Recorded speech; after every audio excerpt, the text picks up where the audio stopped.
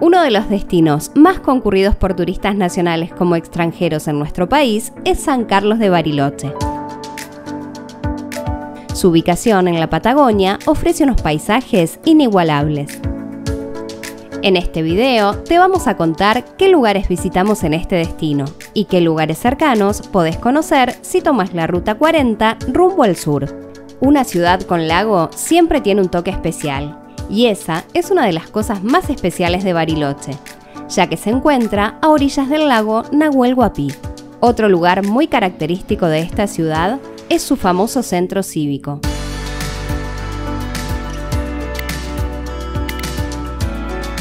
Y si seguimos paseando por allí, podemos visitar la calle Mitre, que es una de las principales de su centro comercial donde además de muchos locales van a poder ver alguna de sus tantas chocolaterías.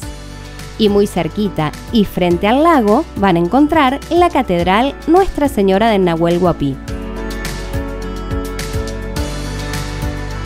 Bariloche es muy famosa por su centro de esquí en invierno y por sus playas en el verano. Algunas están en el centro de la ciudad y otras en sus alrededores. Otro paseo muy famoso es el Circuito Chico, un recorrido circular de aproximadamente 25 kilómetros, donde pueden visitar la capilla de San Eduardo, el Puerto Pañuelo, el circuito del Yao Yao,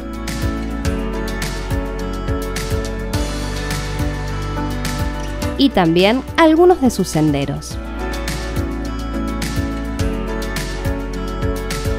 Miradores,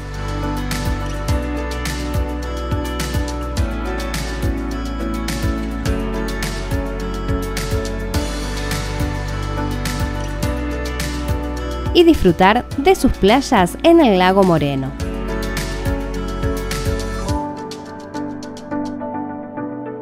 Por supuesto, algo que no puede faltar en este paseo es Colonia Suiza, una colorida aldea que tiene un pequeño centro comercial, donde van a poder probar platos típicos, algunas cervezas artesanales y si se alejan un poco por su calle principal, van a encontrar el acceso para ingresar a la playa.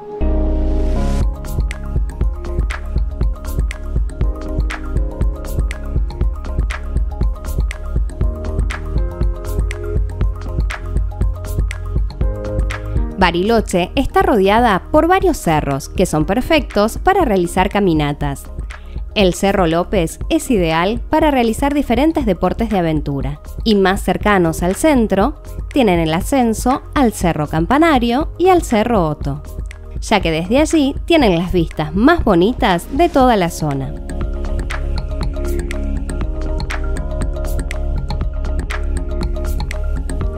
Pero también, si nos alejamos de la ciudad y nos dirigimos al Parque Nacional Nahuel Huapi, podemos visitar Playa Negra,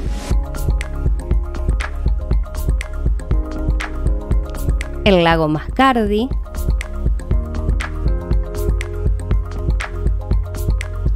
y el Cerro Tronador, que es el más alto de la zona y en su base se encuentra el glaciar Ventisquero Negro.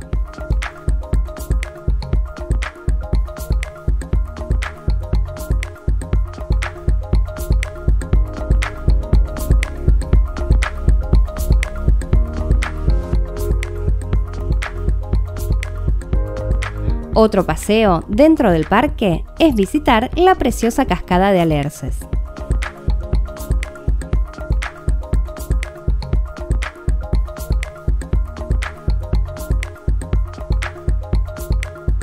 Un destino cercano que pueden ir a conocer es el Bolsón. Se encuentra a 120 kilómetros de San Carlos de Bariloche para llegar, se toma la Ruta 40 haciendo un camino que bordea los lagos Gutiérrez y Mascardi. En este camino también pueden ver un extenso cordón montañoso. Van a ascender a más de mil metros sobre el nivel del mar.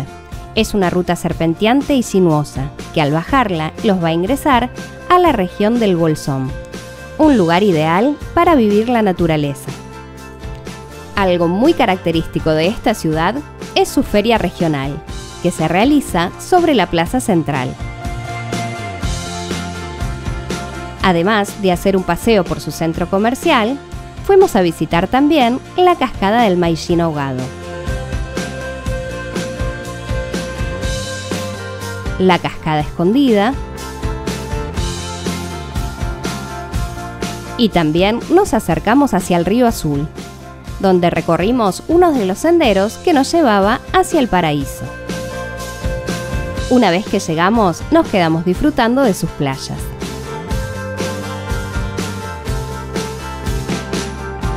Otra actividad que no podíamos dejar pasar y se encuentra muy cerca del pueblo es el ascenso al Cerro Amigo. Fuimos hasta allí para disfrutar del atardecer, donde tenemos unas hermosas vistas al pueblo y también al Cerro Piltriquitrón.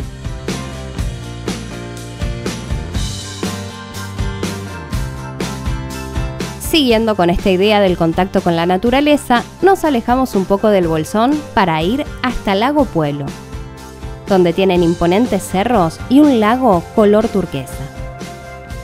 Lo primero que hicimos fue visitar su pueblo. Después nos dirigimos hacia el Parque Nacional, donde recorrimos algunos de sus senderos.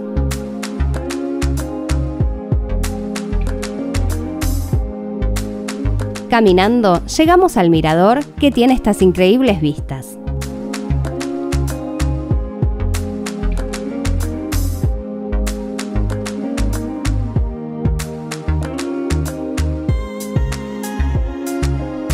Después al bajar, descansamos en la playa, disfrutando de la belleza y tranquilidad junto al lago.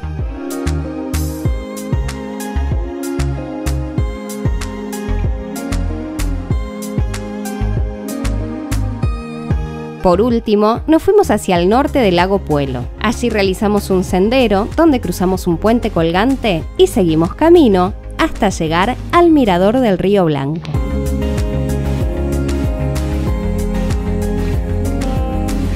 Desde este punto hay una increíble vista al río y también a sus cascadas. Es una caminata accesible para toda la familia. Para finalizar, bajamos hasta el río para disfrutar del atardecer. Estos son solo algunos lugares que nosotros conocimos en nuestra visita.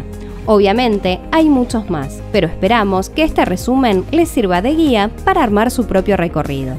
Y si es que tienen alguno de estos destinos en vista para su próximo viaje y quieren más información, recuerden que en nuestro canal tienen videos con la información detallada de cada uno de ellos.